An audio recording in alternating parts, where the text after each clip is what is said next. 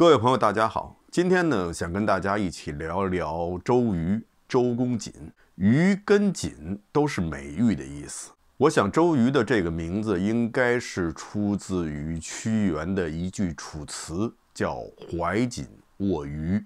中国的古人呢，特别的推崇玉，而且把君子与玉联系在了一起。古语云：“君子无故，玉不离身。”《诗经》中也有这样一句：“颜念君子。”温润如玉，古人看重玉，并不仅仅是看重玉的外表，更多的是看重玉的品格。《说文解字》曾经总结了孔子对玉的描述，总结玉有五德，分别是仁、义、智、勇、节。所以呢，古人佩玉并不是为了显富贵，而是为了表示自己是个君子，有着玉一样的品格，或者说有着对玉的品格的追求。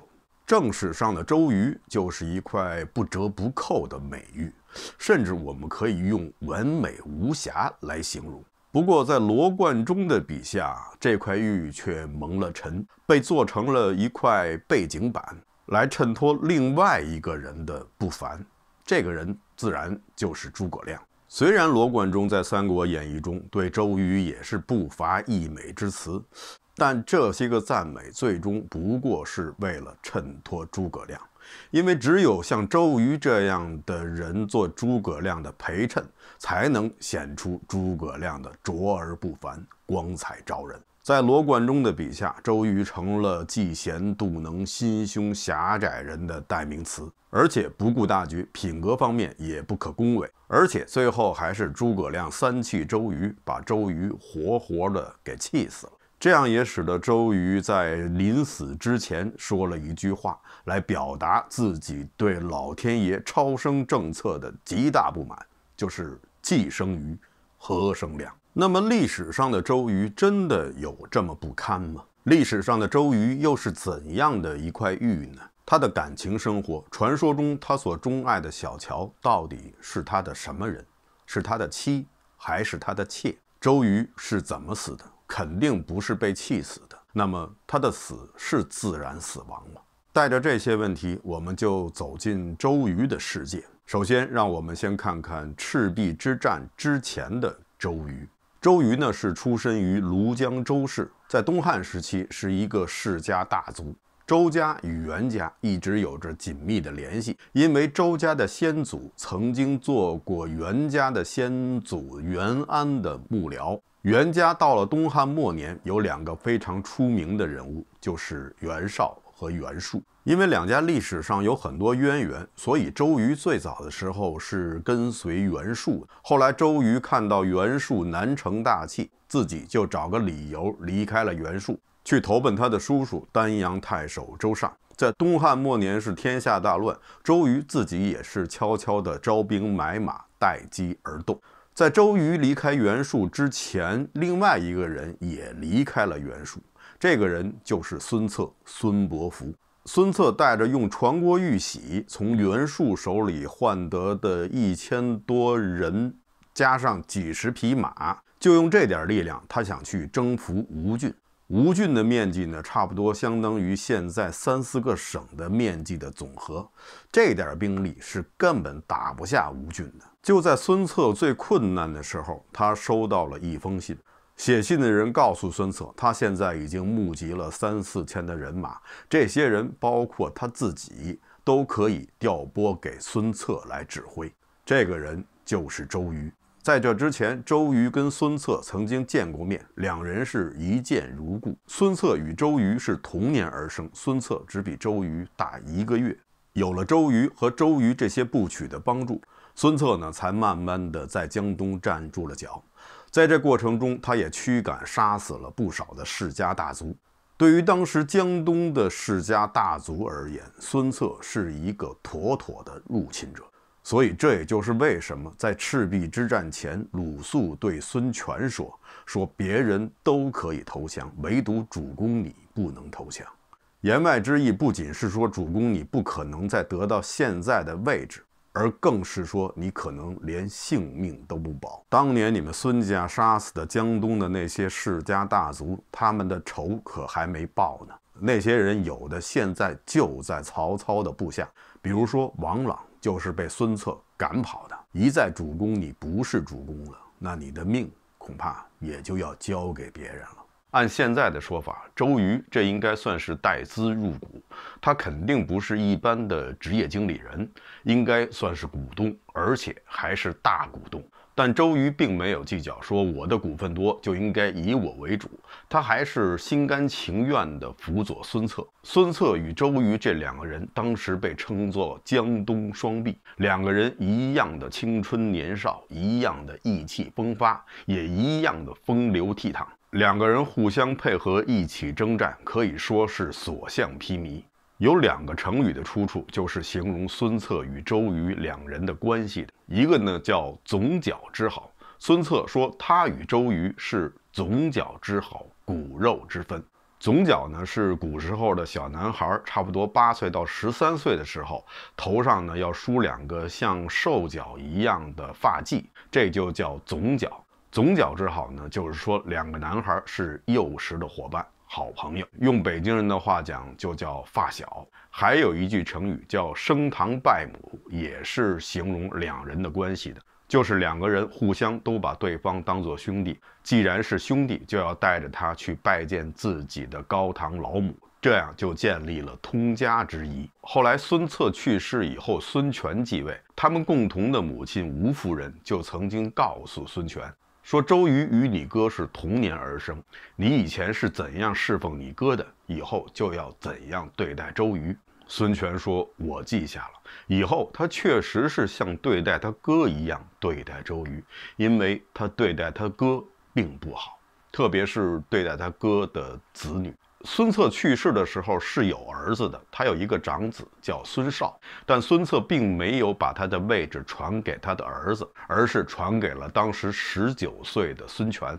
这一方面是孙策看中了孙权的能力，另一方面也是他的儿子孙绍当时可能也只有三四岁，还确实太年幼了，不能当此大任。后来孙权在称帝以后，追封他的父亲孙坚为武烈皇帝。而只是追封他的哥哥孙策，追封了一个长沙恒王，而且这个王位还不能世袭。孙权自己的儿子在他登基以后，一个一个的都被封了王。可这时候已经长大成人的孙策的长子孙绍，却只被封了一个吴侯。到后来，干脆吴侯也给撤销了，改封了一个上虞侯。上虞不过是一县之地。当年孙策把江东的这大片江山传给了他的弟弟孙权，而孙权给孙策儿子的不过是一个巴掌大的地方。孙权这样做当然是有他自己的考量，他是想逐渐的抵消孙策在江东的影响。毕竟孙策当初的影响力非常大，大部分的将军都是跟孙策一起出征打出来的。但不管怎么说，他这样做的话，总让人觉得好像。不太厚道，即使是写《三国志》的陈寿都有点看不过去了。他在《三国志》中写下了这样一句话：“割据江东，策之吉兆也，而权尊崇未至，子指侯爵，予以简矣。”那么孙权又是怎样对待周瑜的呢？这个呢，咱们过后再说。在江东双璧的眼睛里，从来就没有什么骄兵必败。他们骄傲，就是因为他们从来不败。这两个人不仅是一起征战，而且还一起脱单。在他们两个人合力攻下宛城以后，得知宛城乔老家有两个女儿，分别为大乔与小乔，皆国色也。于是孙策就纳了大乔，而让周瑜纳了小乔。所以说，大乔、小乔是孙策与周瑜的战利品。这两个女人是他们抢来的。在三国时期，抢老婆并不是什么稀奇的事情。我们以前说过，张飞的夫人夏侯氏就是张飞抢来的。曹操身边的十四个姬妾中有十二个都是抢来的。关羽其实也想抢，不过是没抢过，因为他碰到了老曹，所以只好把秦一路的杜夫人拱手相让，这样就把自己憋成了一个大红脸。为了记住这个让他羞耻的日子，从此以后他就着绿巾穿绿袍。不光是孙策、周瑜抢，孙权小小年纪不学好，也抢了一个女人。这个女人叫步练师，可以说是孙权一生中最挚爱的女人。孙权曾经想过要立她为皇后，但是遭到了群臣的反对。后来孙权就干脆将皇后之位虚戴了十几年。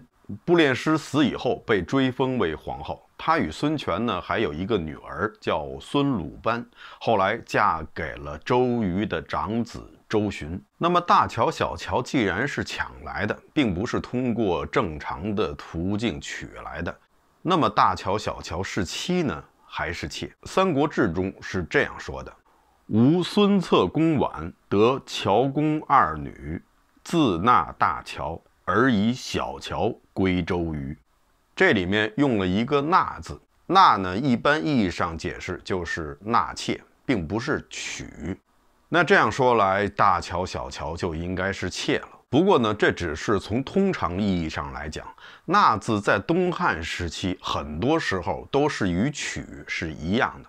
比如说，汉光武帝刘秀娶阴丽华的时候，史书上用的就是一个“纳”字；后来他又娶皇后郭圣通，用的也是一个“纳”字。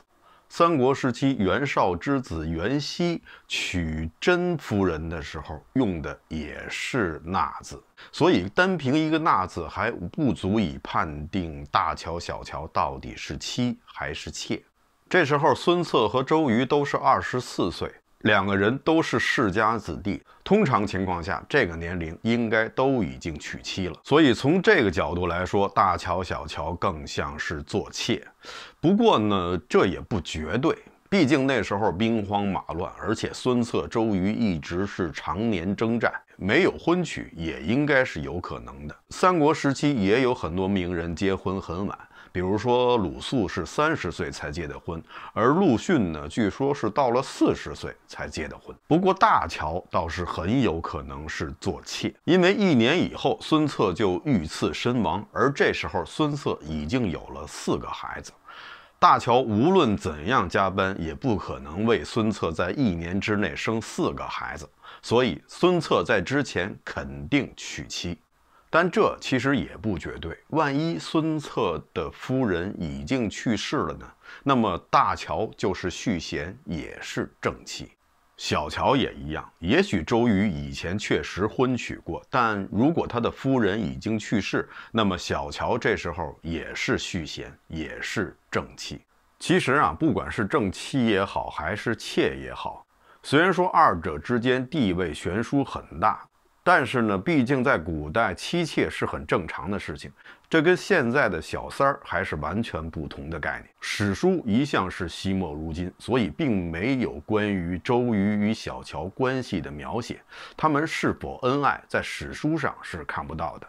不过呢，从周瑜在三十六岁病逝以后，小乔就独自抚养周瑜的两个儿子一个女儿，一直没有再嫁。从这点上来看，应该两个人的感情是很深厚的。但是呢，还有一点很令人费解，就是小乔在去世以后，并没有与周瑜合葬。这是否是因为他并非正妻，所以没有合葬的资格，还是有别的什么原因？这一点呢，至今还是一个谜。周瑜离世的时候呢，留下了两个儿子，一个女儿。大儿子周循后来上孙权的女儿孙鲁班，二儿子周胤也做了高官，他的女儿后来嫁给了孙权的太子孙登。如果说周瑜在小乔之外另有正妻的话，那么这几个孩子应该就是正妻所生。那他的儿子要么娶了公主，女儿要么嫁给了太子，而母以子贵，那周瑜的正妻应该在史书上留下痕迹。但为什么从未提及呢？从这一点上来说，在史书中被提及的周瑜身边的女人只有小乔，那么小乔作为正妻的可能性更大一些。那么我想啊，即使周瑜在纳小乔的时候已经有正妻，那么后来如果正妻去世的话，小乔也很有可能升为正妻。大乔和小乔这姐妹俩呢，都是通音律、善诗文。从这个角度来说，他们两个人绝对不会出自于普通人家。当时的东晋末年是世家大族的天下，知识也已经被世家大族所垄断，所以二乔的出身很有可能是没落的世家大族。那么从这一点上来看，与孙策、周瑜也算是门当户对，所以做正妻是肯定没有问题的。说到通音律啊，相信周瑜与小乔一定可以做到琴瑟和鸣，因为周瑜自小就对音律非常的精熟。据说周瑜在酒过三巡，喝的已经有点微醺的时候，依然能够分辨出谁的音弹错了。所以当时在江东地区就流传着一句童谣，叫“曲有误”。周郎顾，一些倾慕周瑜很久的美女们，在酒席宴中弹琴助兴的时候，就故意把琴弹错，以此期望能够让周瑜看他一眼。唐代诗人李端还写了一首诗，描写当时的情景：“明争金玉柱，素守玉房前。若得周郎顾，时时误佛贤。”所以啊，大家可以想象这样一个场景。周瑜在中间坐着，四周围着一圈美女在那里抚琴，为了赢得周瑜的遗顾，纷纷弹错音。周瑜只能是左看看，右看看，前看看，后看看，这一顿饭下来，颈椎病都犯了。最可惜的还是这场宴席，本来好好的一次音乐盛宴，生生的让周瑜搞成了一个被套加工厂。后来这个故事呢，也就衍生出了一句成语，叫“周郎顾娶”，引申的意思呢，就是怀才不遇的意思。刚才我们提到了周郎，郎这个词呢，在古代呢，很多时候是相当于我们现在所说的帅哥。美男子，刚才我们说的江东双璧孙策与周瑜，大家呢就称呼他们为孙郎与周郎。孙策也长得很帅，所以被称为孙郎。周瑜不用说了，周郎。武大被称为武大郎。还有隔壁的那位张公子，也是仪表非凡，浑身上下都发着光，所以呢，邻居们呢就习惯称他为张郎，而且还经常用拖鞋向他问候。三国时期呀，也是美男子井喷的时代。不过，这个时代的男性审美与以后的魏晋南北朝的阴柔之风截然不同，更是呈现出一种阳刚之气。比如说，形容诸葛亮就是容貌甚美，识人一焉；而形容周瑜呢，《三国志》是这样说的：说周瑜长壮有姿容，就是说周瑜个子很高，很强壮。而且五官也非常的英俊，再有像我们熟知的马超、赵云、张飞这些美男子，他们无一例外都是那种强壮型的。不仅是武将如此，文官也一样。当年曹操手下的第一谋士荀彧就被授予了“唯美”二字。三国时期的第一大喷子祢衡击鼓骂曹的时候，别人让他评价一下荀彧。祢衡想了想，说：“荀彧这个人长得还不错，可以借面吊丧。”这也就是“借面吊丧”这个成语的由来。意思呢，就是形容一个人徒有其表。周瑜不光是长得帅、有才华，而且还有着非常强大的人格魅力。蒋干曾经形容周瑜是雅量高致。顺便说一下，历史上确实有蒋干这个人，但是呢，并没有像《三国演义》说的什么蒋干盗书，使得曹操杀死了水军都督蔡瑁、张允。蒋干确实曾经到江东拜访过周瑜，确实是想劝周瑜投降曹操。不过那是在赤壁之战的一年以后，蒋干确实去了，也见到了周瑜。周瑜礼貌地表达了自己不会归降，愿誓死效忠东吴的决心。蒋干也是颇有风度的，没有再提劝降这件事。回去以后，在曹操面前盛赞了周瑜。大家知道，东吴还有一员大将叫程普，是一名老将，当年是跟着孙坚打天下的。因为资格老，所以呢，对后来声名鹤起、地位呢又隐隐超过自己的周瑜，就有些不满之词，经常呢发一些牢骚，想让周瑜难堪。但周瑜非常的大度，并不在意。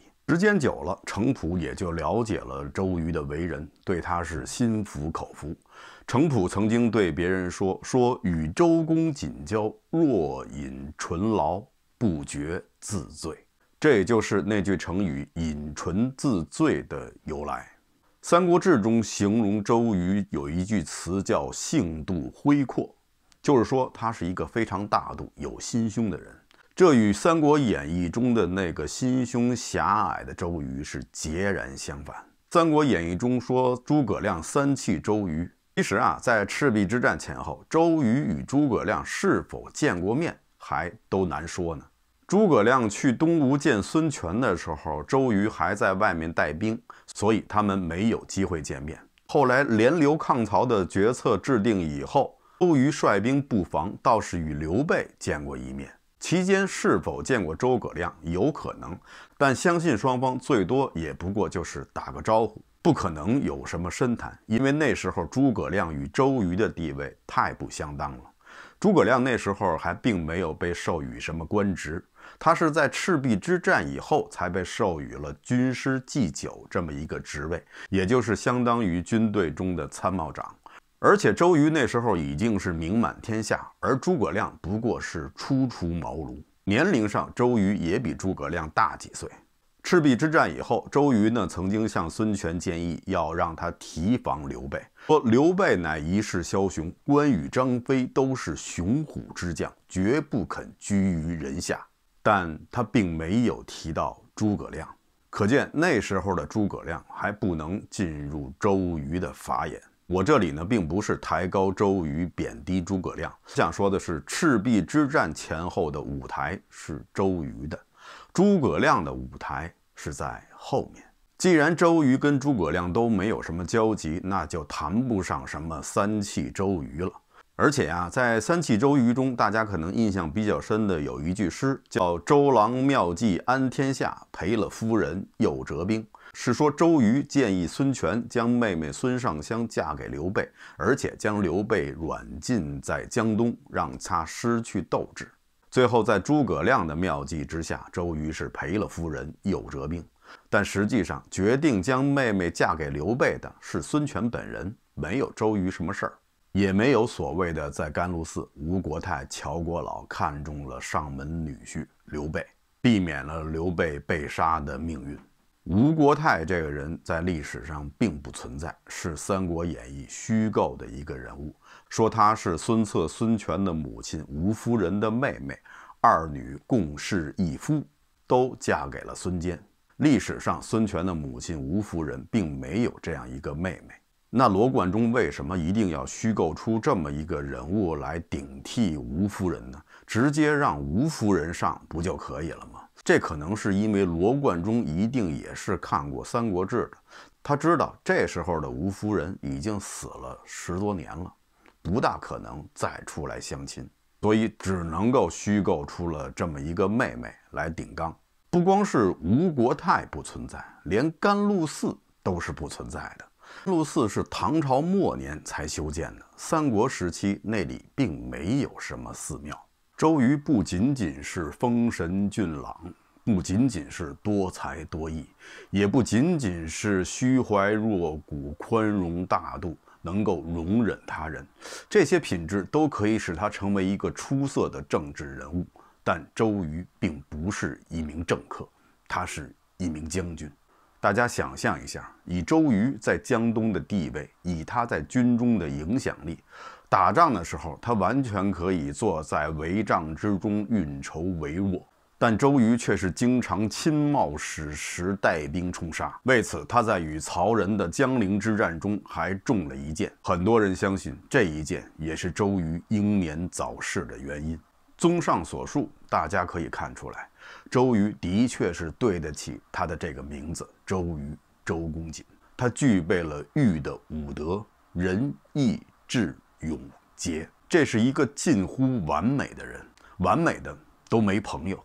这样的完美其实也是蕴含着危机。所谓盛极必衰，因为他的完美会让别人感到难堪，他的光芒会让别人显得暗淡。别人是其他的人都无所谓，但如果这个别人是江东之主的话，那就意味着危险正在向周瑜一步步的迫近，而周瑜之死或许就与这个危险有着密不可分的关系。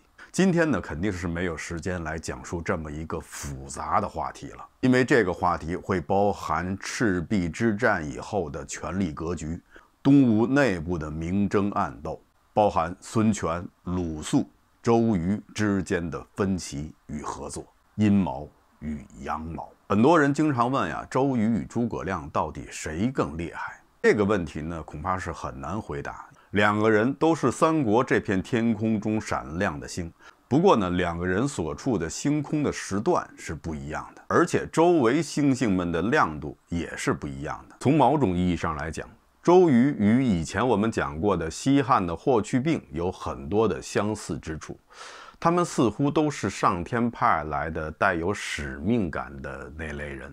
当世界需要他们的时候，他们说“我来了”，等到事情办完了。他们什么也不说，就悄悄地走了。他们就像流星一样，是以最绚烂、最耀眼的方式划过夜空，然后在最闪亮的时刻迅速地陨落。在很多人看来，这可能是一种遗憾，但对于他们来说，未尝不是一个完美的归宿。这个世界，我来过，而且我还让所有人都知道我来过。好的，以上就是本期节目的全部内容，感谢大家收看，欢迎大家点赞订阅。这里是风下杂谈，Frank 甲为您带来有温度的历史，咱们下期节目再见。